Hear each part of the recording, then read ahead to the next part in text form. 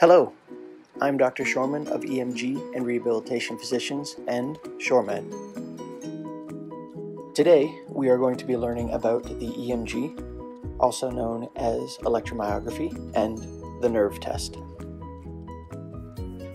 An EMG is a test evaluating the nerves within the peripheral nervous system, as well as specific potential metabolic abnormalities within the muscles of the body.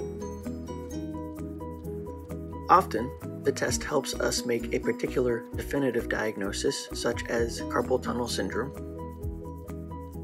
Just as importantly, the test is also used to rule out potential bad actors that would require more acute medical attention.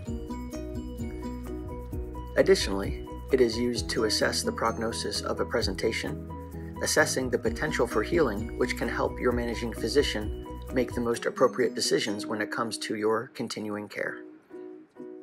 Indeed, there is quite a bit posted on the internet about this test, and not all of it is positive. Today, I hope to walk you through the experience in our office in the hopes of calming any potential fears about your upcoming procedure. First and foremost, preparation. There really isn't much to consider in preparation for this test. Ultimately, the less debris on the limb being tested, the more accurate results we will obtain. Also, the less debris on the limb, the lower the stimulation that is required to obtain ideal results. Please attempt to avoid placing lotion or skin care products upon the limbs being tested. Plainly stated, the cleaner the limb about to be tested, the better it is for the physician and the patient alike. Other than active infection within the limb being tested, there really are no contraindications for the procedure. In an attempt to answer commonly presenting questions, there is no need to hold blood thinners for this test. Additionally, spinal cord stimulators, cardiac defibrillators, pacemakers are not a contraindication for this test. At this point, I will attempt to simulate a typical patient experience in our office. Upon entering the office, our assistant will take the temperature of the limb being evaluated. Depending on the temperature, we may apply a heating pad to your hands or feet, as cold limbs can potentially turn normal results abnormal. Ultimately, you will be asked to disrobe and don a gown which will allow access to the limb or limbs being evaluated. There are two parts to the test here today the stimulation part and the pin part. With the first part of the test, the stimulation part, essentially I will be placing these electrodes down low on your hand, and I end up stimulating nerves at different distributions within your hand and arm.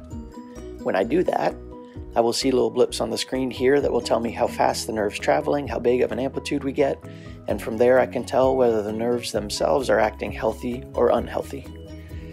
We learn to do the test initially by doing them on ourselves and back and forth on colleagues, so the best description of the stimulation I can give you is probably that of a rubber band snapping against the skin.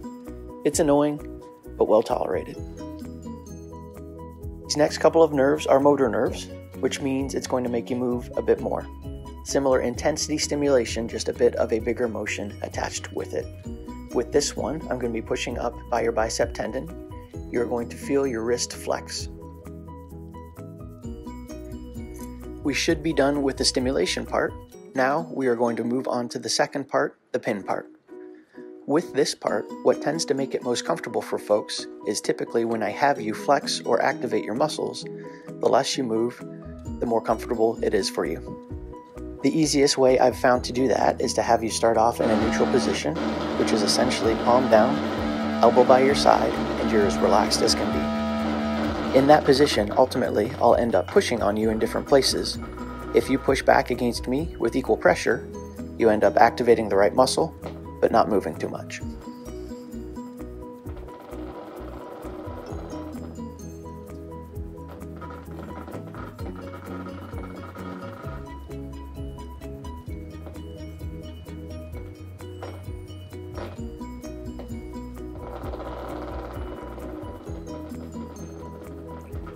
With the second part of the test, the pin part, essentially I have pins about the diameter of that of an acupuncture pin that I insert into different muscles.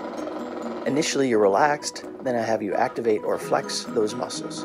When you do that, I see primarily I'm listening to waveforms on the screen.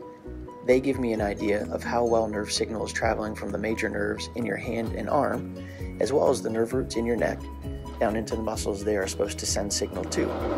If the signal is interrupted, it can give us an idea if it is acutely interrupted, chronically interrupted, acute on chronic, also an idea about severity and prognosis.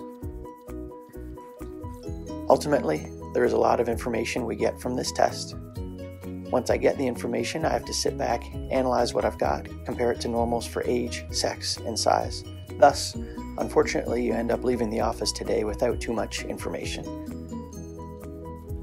Typically, within about two business days, we will have the formal results put together and sent to your referring doctor. I thank you for your time and attention. Here's hoping this bit of information manages to provide some education, clarification, and ultimately helps mitigate unnecessary fears associated with this test. Finally, here's hoping you and yours are well.